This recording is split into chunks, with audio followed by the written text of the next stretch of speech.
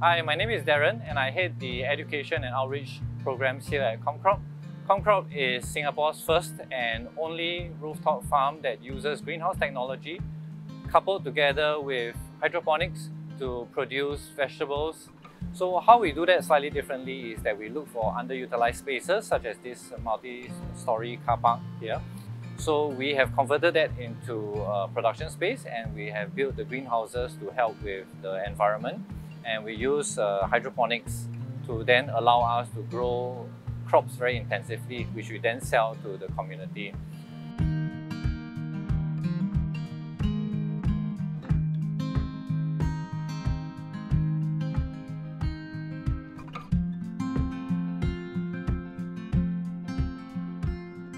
As a company, actually what we try to do is we see our role in society as not just a producer of food, but also an employer. So in addition to being very open to hiring retirees, we also work with elderly with dementia.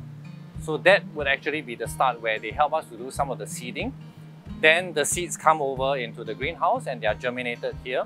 We'll then run the nutrients through the medium. And because we circulate the, the water and whatever excess goes back into the tank and we keep recycling it, we actually save a fair bit more water as compared to traditional soy-based farming. Because we have this greenhouse here, we can do this growing without the use of pesticides and that we feel is a bit better for our consumers who are of course very concerned about the food that we are eating nowadays.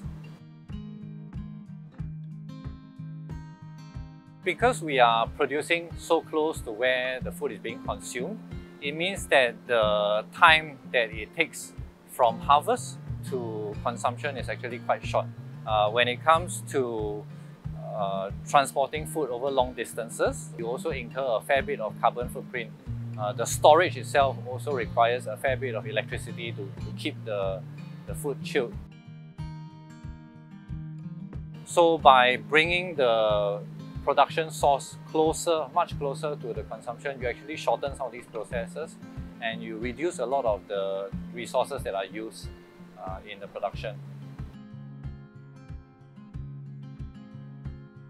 We need to recognize that the food chain stretches from producers like us to consumers like you, right? So for example, if you continually choose more local produce, uh, then the supermarkets will also be incentivized to actually stock more and support us a little bit more.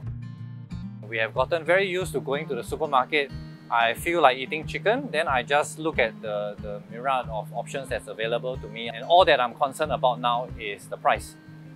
But we need to also recognize that sometimes these choices will affect very much the sustainability of the local farms. If the local farms have to compete with overseas farms purely on price, then we are definitely going to lose because our labor is more expensive, our land is more expensive, where possible, if you can buy local and support local, that enables the farm to consistently get the revenue.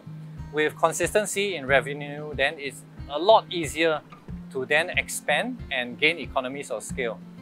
And more importantly, you can put in place a lot more of, let's say, the logistics um, and also the growing techniques that will actually in, enable us to use less resources, uh, which, which effectively is a little bit more uh, environmentally sustainable.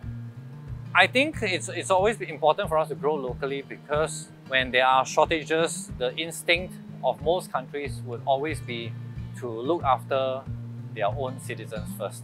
If we are fully reliant on other people for our livelihood, such as food and water and things like that, then we will always be beholden to them in times of crisis.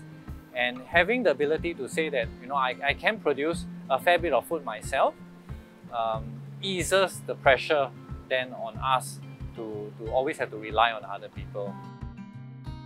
We are always aiming to, to grow more farms and the whole idea is that if we can have multiple productive farms all over Singapore, that gives us the ability to one, produce more food for local food security and, and self-sufficiency. Uh, secondly, it also enables us to engage more with the community and of course, we also are able to then employ more people to work with us on the farms. We find that having that then grows a more robust and resilient uh, food industry. So we've come to the end of the tour and I hope you enjoyed yourself and learned a little bit more about the food industry in Singapore. If you'd like to find out more about us, you can find us on our website or follow us either on Instagram or Facebook. Uh, more importantly, look out for us at the supermarkets or on online retailers.